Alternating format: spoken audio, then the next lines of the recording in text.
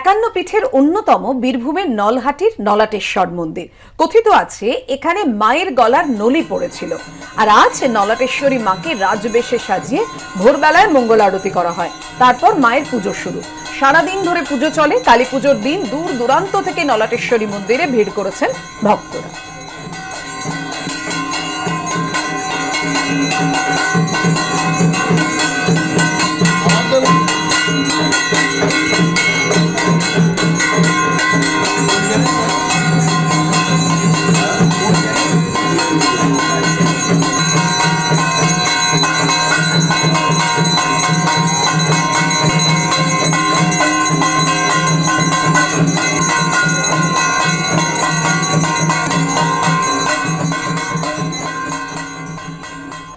আজকে কালী পুজোর দিন আড়ম্বরে শুরু হয়ে গিয়েছে পুজো।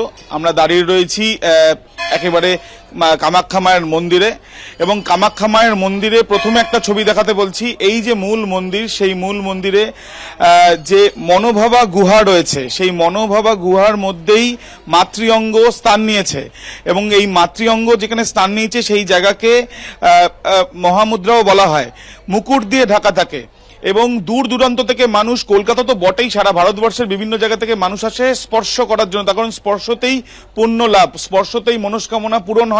এমনই কিন্তু ধারণা রয়েছে।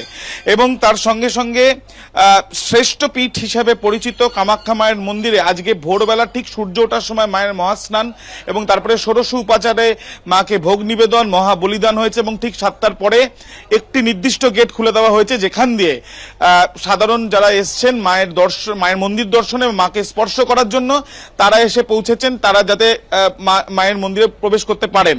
এবং আজকে মধ্যাহ্ন কিন্তু পুজো হবে এবং তার পরবর্তীকালে আমরা দেখেছি সন্ধ্যাবেলা সন্ধ্যারতি হবে এবং এখানে প্রদীপ জ্বালানো হয়। প্রদীপ শুধুমাত্র জ্বালানোর জন্য নয়, প্রদীপ জ্বালানোর পেছনেও বিষয় রয়েছে, যেটা এখানকার মন্দির কর্তৃপক্ষ জানাচ্ছেন। প্রদীপ জ্বালানোর মধ্যে যা মনস্কামনা করা হয় আজকের দিনে প্রদীপ জ্বালিয়ে যদি মন্দিরে রাখা হয়, তাহলে সেই ক্ষেত্রে সেটা পূরণ হয় এমনটাই তাদের বক্তব্য। এবং তার সঙ্গে সঙ্গে তোমাকে জানিয়ে রাখি মহাবিদ্যারূপে এই কামাখ্যার বিভিন্ন মন্দির, কামাখ্যা মায়ের মন্দিরের আশেপাশেও রয়েছে। সব মহাবিদ্যারূপে দেবীকে পূজিত হন দেবী। মা কামাখ্যার পাশে আমরা দেখেছি যে এখানে যারা দর্শনার্থীরা ভেতরে প্রবেশ করছেন, সেখানে কমলা দেবী রয়েছেন তাকে যেমন পুজো করা হয় এবং তার সঙ্গে সঙ্গে এখানে আমরা দেখতে পাচ্ছি কলকাতা থেকে অনেকে রয়েছেন। তাদের সঙ্গে একবার আমরা কথা বলব। দাদা একটু এগিয়ে আসবেন। কোথা থেকে আসছেন আপনারা? আমি আসছি হাওড়া শালকিয়া থেকে। আপনি আপনি? আমি কৃষ্ণনগর থেকে। আচ্ছা প্রত্যেকবার কালী পুজো আসেন না এইবার এলেন? না এবারই ফার্স্ট মায়ের দর্শন করতে পেরেছেন আপনারা? অবশ্যই। বেতুয়াডোরে নদিয়া বেতুয়াডোরে অবশ্যই দর্শন করেছি খুব ভালো করে এবং এখানে সিস্টেম যে পদ্ধতিতে আমাদের এগিয়ে নিয়ে যাওয়া হচ্ছে দর্শন করার জন্য সেটা খুবই সুন্দর এবং বসার জায়গা এবং ভেতরে যে সুন্দরভাবে দর্শনের একটা সুযোগ সুবিধা, সেটা এখানে করে দেওয়া একেবারে আমরা দেখতে পাচ্ছি, ওনারা যেমন বলছেন যে একদিকে মা কামাখ্যা কামা- মা কামাখ্যার একদিকে মাতঙ্গী একদিকে, কমলা দেবী এবং আশেপাশে আমরা জানি তারা মায়ের মন্দির রয়েছে, এখানে কালী মন্দির রয়েছে দক্ষিণা কালী হিসেবে এখানে কালী ঠাকুর রয়েছেন।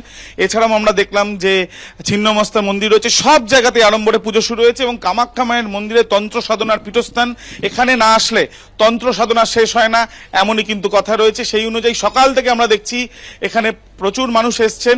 তন্ত্র সাধনার জন্য অনেকে এসে উপস্থিত হয়েছে একদমই। সারা দিন ধরে আমরা ছবি দেখতে থাকব এবং তোমার কাছে শুনতে থাকব যে কি কি রীতি মেনে কীভাবে পুজো চলছে। ধন্যবাদ তোমাদেরকে।